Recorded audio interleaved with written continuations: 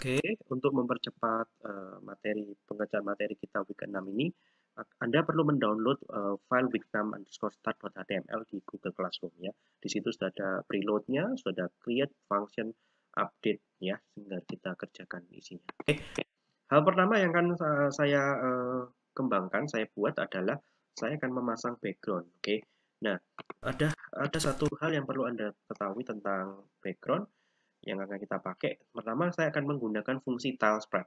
Tile spread akan merender gambar spread secara berulang-ulang uh, pada kontainer yang kita siapkan. ya. Jadi contoh ya, uh, game.add tile spread, Anda bisa lihat ada empat parameter utama. X, Y adalah posisi awal kamu mau gambar di titik mana. X dan Y awalnya. Sedangkan width dan height untuk parameter selanjutnya adalah mau digambar selebar apa atau kontainernya mau selebar apa. Kalau saya set width-nya 8000, Anda bisa lihat di sini ya, 8000. Maka si gambar ini akan di-render 8 uh, sebanyak sekian kali hingga memenuhi 8000 uh, layar uh, pixel uh, lebar layarnya. Sedangkan height di sini kita set sama, dengan game height. Oke, jadi uh, tile spread ini cara yang termudah untuk merender gambar yang diulang-ulang, spread yang berulang sampai sejumlah uh, layarnya, ukuran layarnya. Ya, uh, hal yang sama bisa anda lakukan menggunakan for.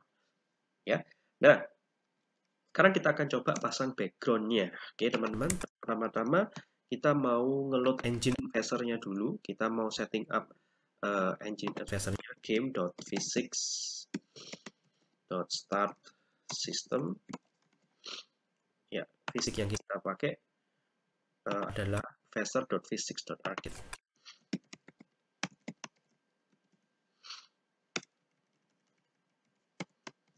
.argit. Oke. Kemudian uh, gravity-nya kita set. Argit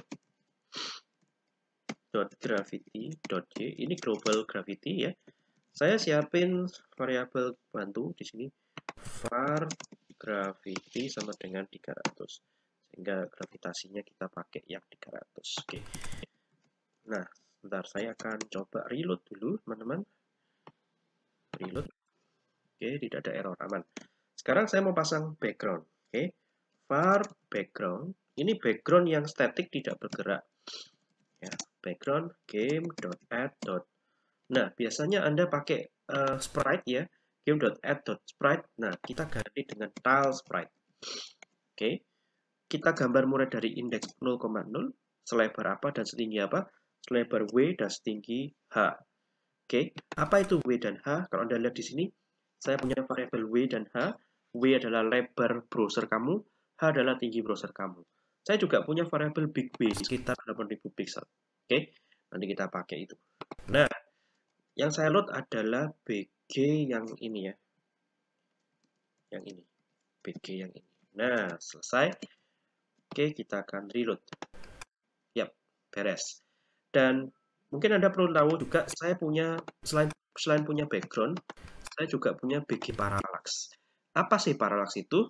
Parallax adalah efek di mana uh, kita seolah-olah melihat uh, kameranya bergerak dan ada dimensi, ada Eh, kedalaman, ada perspektif ya.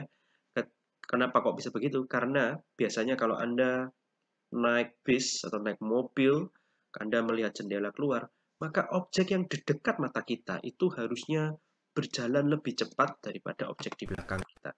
Seperti Anda lihat di sini. Pohon ini jalannya lebih cepat daripada bukit di belakangnya, dan di belakangnya lagi ada background yang statik. Sehingga ini menimbulkan efek yang dinamakan paralax, ya seolah-olah ada uh, perspektif dimensi kedalamannya. Oke, kita akan bikin uh, teknik tersebut. Caranya adalah Anda harus punya beberapa background, background static, background parallax, dan paling dekat di mata kita adalah pohon. Oke, langsung aja kita mau pasang uh, yang parallaxnya. Pertama-tama Anda mesti bikin variabel parallax dulu, karena karena uh, ini akan saya uh, program nanti untuk pergerakannya parallax dan tree. Langsung aja kita setup di sini var parallax sama dengan game.add style sprite 0, 0, b, h, parallax. Ya, kita lihat dulu hasilnya. Oke, reload. Ya, yang terjadi apa? Yang terjadi backgroundnya diulang-ulang-ulang-ulang, ya, uh, se selebar 0,0 sampai width dan height. Nah, ini keliru ya. Saya nggak kepengen diulang-ulang selebar 0,0 dan width dan height ya. Saya kepengen ulang hanya untuk di area bawah sini saja. Ya, di area yang bawah sini aja. Nah, di sini kita bisa pakai H dikurangi 150 dikurangi 50. Berapa itu? Hanya 800 kurang lebih dikurangi 150 sehingga menjadi 650 gitu ya. Kurang 50 jadi 600. Oke. Nah, eh, atau ini saya ganti 200 saja. Nah, kenapa begitu? Kalau kita reload, maka gambarnya ini hanya akan di render di koordinat 0 dengan koordinat y-nya mulai dari 600, kurang lebih segini. Jadi yang digambar hanya di area area sini sampai sana ya. Jadi tidak memenuhi layar, hanya di area ini sampai sana. Oleh karena itu, koordinat hanya saya kurangi 200. 800 dikurang 200, 600. Jadi dia di render mulai dari sini sampai sana. Dan yang kedua adalah saya mau bikin dia big W. Big W artinya uh, saya mau render sampai 8000 pixel ke, ke kanan. Kita nggak bisa lihat. Nanti Anda akan lihat setelah kameranya digeser ya, teman-teman. Nah, lakukan yang hal yang sama untuk pohon. Pohon. Ini saya ganti tree. Ini saya ganti tree. Oke. Okay. Reload. Nah, sekarang Anda lihat di depan kita ada pohon yang lebih jelas gambarnya. Oke. Okay? Nah, Nanti kita akan lanjutkan dengan uh, pembuatan kamera.